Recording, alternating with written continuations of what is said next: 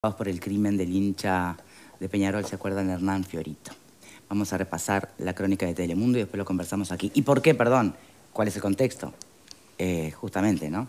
El próximo partido. Entonces, el clásico, bueno, con esta novedad, en fin, para muchos fue muy contraproducente. Ahora me decís, ¿qué opinas vos?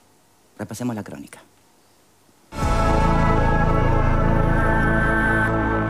El 28 de septiembre del 2016, durante los festejos por el aniversario de Peñarol en una plaza de Santa Lucía, Hernán Fiorito fue baleado por hinchas de Nacional. Falleció el 4 de noviembre. Cinco años después, la justicia condenó en primera instancia a varios hinchas de Nacional por homicidio, lesiones personales y tráfico de armas. Los involucrados en el homicidio recibieron condenas de 23 a 25 años y medio de prisión. Sin embargo, 12 de los 16 hinchas condenados, que estaban escarcelados provisionalmente desde fines del 2018, no volvieron a prisión. Ahora el Tribunal de Apelaciones confirmó la sentencia. La condena no se expide sobre si tienen que volver o no a la cárcel, por lo que será la Suprema Corte de Justicia quien resuelva. Esto se debe a un horror por parte eh, de la Fiscalía quien le dio la libertad en primera instancia porque notoriamente no estaban frente al monto de la pena, además no estaban dadas las condiciones para que se otorgara la libertad. Así que hasta que no esté ejecutoriada como establece el código anterior, recién será la Suprema Corte de Justicia quien determinará si se otorga o no la libertad condicional por el resto de la pena que falta cumplir. ¿Cómo ha tomado la familia de Hernán todo este, este proceso judicial y también esta ahora resolución del Tribunal de Apelaciones? Yo diría dos sentimientos. Paz, porque esta sentencia mm, mitiga el dolor. Y por otro lado, impotencia, porque no cabe duda que obviamente si se aplicara este nuevo código, cumplirían el saldo en prisión. Uno de los condenados, Washington Omar Simón, fue asesinado en enero del 2022 durante una pelea en la Vía Blanca en el barrio Unión.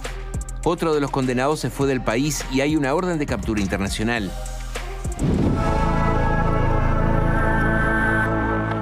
A ver cómo se puede explicar mm, esto, Marta. Bueno, a ver, esto se tramitó en el Código Viejo. Este, al ser el Código Viejo, se decía que en el Código Viejo había gente procesada sin condena y ahora se dice que hay gente condenada sin juicio. Entonces, en el sistema anterior lo que pasó es que tenías por ejemplo, personas que estaban presas cumpliendo la preventiva y te encontrabas con gente que tenía cinco años presa por una condena que le iba a caer que de repente era de un año. A raíz de un grupo de personas que estaba en esta situación y hizo el trámite frente a la Corte Interamericana, el Uruguay fue sancionado y se dijo que vos no podías pasar más de X plazo preso sin una sentencia y si no tenías que esperarla en libertad. Eso fue lo que los benefició a estas personas, lo que se pone en los diarios como vericueto legal. ¿Qué pasó? Bueno, ellos estaban presos, no tenían la sentencia, no había acusación, los mandaron para la casa, con una serie de medidas. Si ellos cumplieron las medidas por los principios del derecho penal, indubrio perreo, este, la ley más beneficiosa, en fin, ellos podrían terminar de cumplir en su casa lo que comparto con el doctor Barrera, con el que tengo mucho cariño, que es un horror, porque fue un crimen espantoso por una razón totalmente incomprensible. Pero bueno, el, sistema del código viejo era ese. Entonces, este, la única forma que tienen de que estos señores vuelvan a prisión es que puedan probar que incumplieron esas medidas cautelares que les dieron para esperar la, la sentencia en libertad. Es muy difícil que una persona con el código viejo, que esté libre, después la traigas para adentro. Igual hay que ver qué dice la Suprema Corte. Bueno, hay un periodo de 15 días, ¿no? Para que se pueda presentar el recurso. Exacto, exacto. Yo espero que lo presente, porque aparte hay otra cosa, en el sistema del Código Viejo la víctima mira el proceso de afuera, es Fiscalía la que tiene la acción, no como en el Código Nuevo que la víctima puede este, ejercer su defensa y, tomar un rol activo. Entonces entiendo que para la familia del joven debe ser muy doloroso. Bien, ¿y cuánto tiempo tiene eh, la Suprema para pronunciarse? La Suprema tiene tiempo, no, no, no, no hay plazo para la Suprema ah, no, Corte. Ah, ¿no tiene? No. Bien. Bueno, eh... ¿Alguien quiere agregar algo sobre este punto? ¿Vero?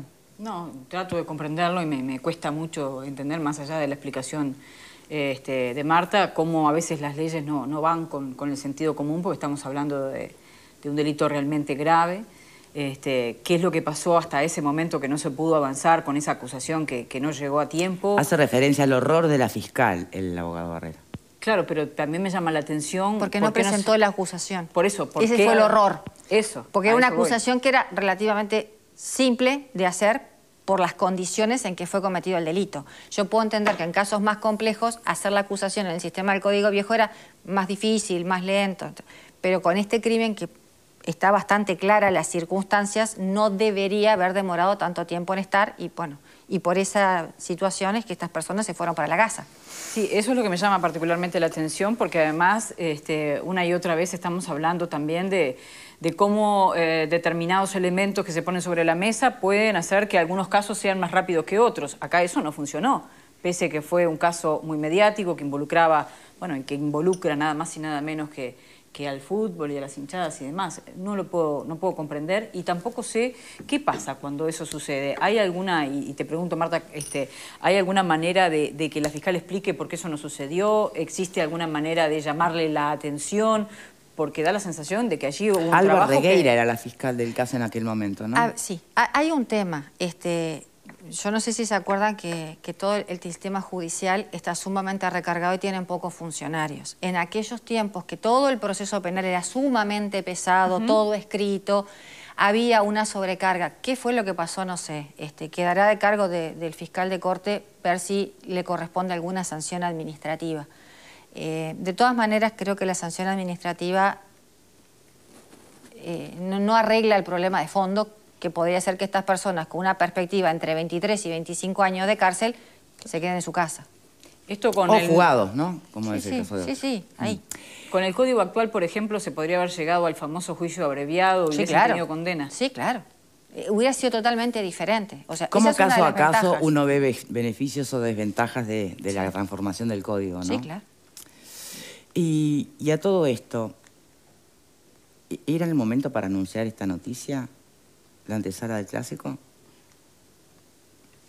Y sí, porque la Sí. violencia es, eh, la violencia en el deporte es una cosa que, a ver, estamos viviendo violencia por todos lados. Basta con ver lo que ha pasado en los liceos. Entonces, eh, hay un clásico cerca, hay una situación de violencia que parece que, que está creciendo. Y bueno, es como para poner un poquito el foco de que se tomen medidas preventivas para que no pase más nada. Digo, el, el- el tema de, de las, de las barras bravas ¿y perdón, acá termina, termina habiendo delincuentes este, libres, Sí, y hay ¿no? que O sea, inter- Y bueno. ¿cuáles son las medidas? Y justamente eh, estaría bueno que las listas negras se cumplan, que no accedan a los partidos, que se tomen controles con aquellas personas que no podrían estar en las, en las inmediaciones del, donde se juega el partido. O sea, Viste que se juega sin hinchada visitante, Claro. ¿no? Este clásico. Qué lejos estamos de lo que originalmente se pretendía, ¿no? Además es la primera vez en la historia, Sí. eh, por lo que escucho a, a los colegas decir, ni siquiera van a ir los, los dirigentes. Eh, o sea que también volvemos, más allá del caso judicial, ya que estamos hablando de ese tema, ¿qué mensajes se están dando? ¿no? Si es que no se puede convivir en un partido de fútbol, de un campeonato, Bueno, eh, entre dos de- hinchadas, y de- ni siquiera pueden convivir los dirigentes. ¿De qué estamos hablando entonces? ¿Estamos hablando de un caso concreto? ¿Estamos hablando de fútbol? ¿Estamos hablando de convivencia en general? ¿A dónde deriva esto? Yo creo que deriva, este, el primero el horror de que una persona que fue asesinada, los asesinos a los dos años estén libres, ¿no? Eso es una cosa de decir. ¿Qué mensaje damos como sociedad? Más allá de los vericuetos legales, que yo no entiendo nada, pero claro, evidentemente si se hizo, por alguna forma, ta, la justicia funciona así. Pero el mensaje que se da a la ciudadanía es decir, no pasa nada, y más algunos, algunos tipos que dicen, ¿viste que a aquello no le pasó nada?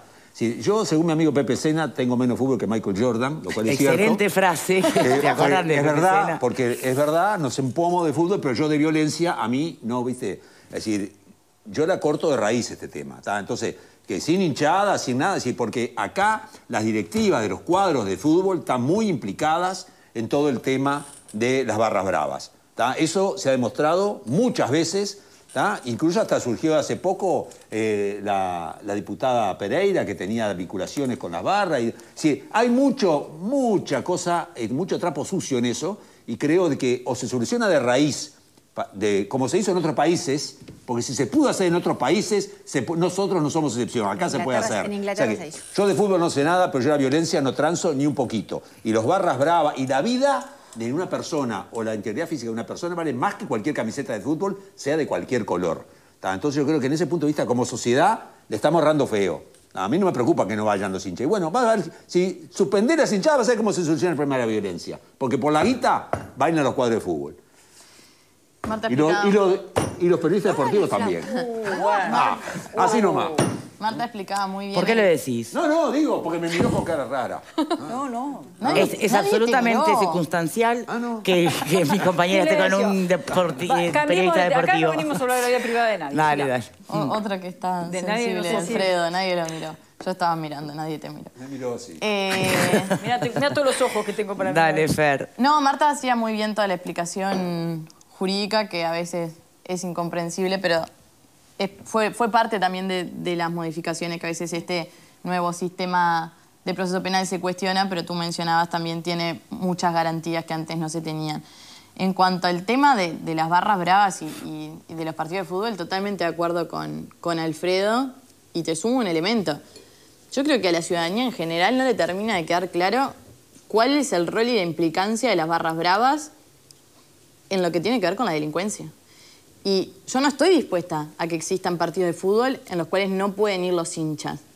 Me parece que, que no, no es algo negociable, no, no es por ahí por donde se tendría que ir, pero primero dónde para... irías, pero- entonces? Y primero en blanquear cuál es la realidad de las barras bravas con el ámbito delictivo. Porque además tampoco podemos hablar de las barras bravas como que todas las personas que integran las barras son delincuentes. Eso de pique para arrancar. Está claro que existen algunas vinculaciones, sí, con miembros de Barras Bravas, quizás sea con los cuadros, quizás sea con, no sé si con políticos o con Sí, quien sea. Creo que es lo que no termina de quedar de- claro. pero, el punto es más allá de, de la carrera delictiva que pueda tener el integrante de una barra brava, es cómo evitar episodios de violencia durante y después de un partido. Porque se combate, porque primero se combate el delito y la organización. Yo creo que el, el partido de fútbol es una manifestación más. Pero ahí no está el origen del problema. El origen del problema es cómo se origina, cómo, está, cómo estaba la organización, con qué miembros estaba la organización. Ese es el origen. No tendría que trasladarse al partido de fútbol. No, No, eso- te- no tendría que, que Eso está limitarse. claro. Bueno, bien, pero está si claro, no tenemos. Pero dentro de lo que es si el no tiempo del claro partido de fútbol, ¿cuál es el objetivo o, o- o lo que puede entender como un operativo exitoso un Ministerio del Interior? Que no pase nada ahí ni afuera. Que no entre la barra brava. Tenés que tenerlos identificados. igual en este caso no es el Ministerio del Interior quien dice por seguridad, no, al contrario, el Ministerio del Interior habilita el ingreso Sí, sí, de hinchada sí, sí, sí. visitante y son los clubes los que no, No. se pusieron de acuerdo. Yo no sé si por temas de diferencias entre ellos, temas políticos, creo que hay un vínculo ahí que está complicado últimamente. en, no, no vamos a vender entradas No, y, no, y no vamos a ir. Bien aclarado, Vero. Y Entonces, yo creo esos que. mensajes, a esos mensajes me refería, más No. allá de lo que tú decís que, que está de fo- que, que- que sabemos que está de fondo de este caso y demás, eh, cuando no se pueden poner de acuerdo los dirigentes de, de- de- de clubes deportivos, ¿de qué estamos hablando? Totalmente de acuerdo, y creo que está bien aclarado el tema del rol del Ministerio del Interior. Claro, porque Yo- en este caso no es que... No, no, no es el Ministerio del Interior. que en otros momentos lo hubo, ¿no? sí, que el sí. Ministerio dijo, son espectáculos privados, arréglense ustedes. En este momento no está Pero es que pasando creo que eso. lo agrava mucho más, y más cuando una y otra vez también decimos que quienes tienen roles de, de conducción, sean los cuadros de fútbol o donde sea, son quienes tienen que marcar el camino, y me parece gravísimo lo que. Estoy totalmente de acuerdo con lo que tú señalas. Que no vaya la, la dirigencia, me parece que es un mensaje, no es por ahí. ¿Qué se espera del resto? Ahora, eh, tendríamos que copiar modelos de otros lados que han sido exitosos, como decía Alfredo. Por ejemplo, identificar quiénes son los barra brava, prohibirle que estén ingresando a los partidos, eh, no sé si hacerlos sentar en la comisaría o prohibir que estén en las inmediaciones, evitar que los clubes les den entradas para que, para que entren y que estén allí y generen disturbios. Pero Digo, estar en la barra de por sí no, no, Pero no no. Marta, eh, pero la barra brava no tendría que... Pero a ver, si no hay un, un hecho delictivo, una conducta delictiva, algún... eh, no tendría por qué ser problemático Porque van a ser sí problemas. pero es que van Pero a ser Marta, eso problemas. que tú estás Bueno, diciendo se está no. haciendo. Y bueno, pero evidentemente hay algo Lo que, que, no pasa está que, funcionando. lo que pasa que acá también hubo un cambio de escenario y ahí empiezan las cuestiones de, la- de- de los dirigentes que se manejan como hinchas, ¿no? Sí, bueno. Ah, no, allá no vamos porque es tu casa. Y bueno. Recuerden que viene Sabina y el clásico se tuvo que cambiar para el campeón del siglo, estaba previsto en el Estadio Centenario. Este, entonces, claro, si, si razonan de esa manera, No, está pero es que, difícil. bueno, ahí 100% tenés un problema. Si están razonando como casa no vamos, está- si estás razonando como hincha, está mal. Se supone que dirigís un club. Voy a es cometer una indiscreción antes de terminar el programa. ¿Qué opina tu marido? No tengo idea, pues a veces... Ay, no te creo, Verónica. ¿De qué hablan algo, ustedes? Te voy a decir de- cosas mundanas eh, este, que no te voy a decir en este momento. Pero te juro, mira, en este tema no sé en qué anda, porque además es, eh, eh, pero hay cosas en las que de este tema no conversamos mucho, porque a veces tengo... Entonces yo prefiero mi... Vero, ya te lo he contado, este, mi Perfecto. mirada. Simplemente sigo las noticias, en este caso no sé ni, ni siquiera qué opinas, si está de acuerdo conmigo o no. Ya me va a rezongar cuando me escuches si no está de acuerdo. así, porque, ah, porque te faltó decir o porque hay tal elemento que vos no tenés de- en cuenta. No, vos decirle que Yo no- te editaron, me editaron, yo- como si no estuviéramos en vivo. Si no, yo lo Sí, dije, me pero editaron, me editaron mal. Este, así que hoy estoy hablando de lo que escucho a otros colegas, que me Perfecto. perdonen. Porque- Bueno, muy bien. Muchísimas gracias a todos por habernos acompañado. El recordatorio de que en la rural, este 2 de abril, es el día, se conmemora el Día Mundial de Concientización sobre el Autismo. ¿Se acuerdan que Valeria Ripoll ayer les comentaba y los invitaba a ir a la rural? Este, y de paso visitar eh, eh, donde va a estar justamente la fundación. eh, que la entrada es gratuita, que va a haber un montón de actividades recreativas, plásticas y charlas y mucho más. Todos invitados. Gracias, La Bacha, por el cafecito de todas las tardes, ¿eh? Y que tengan un excelente.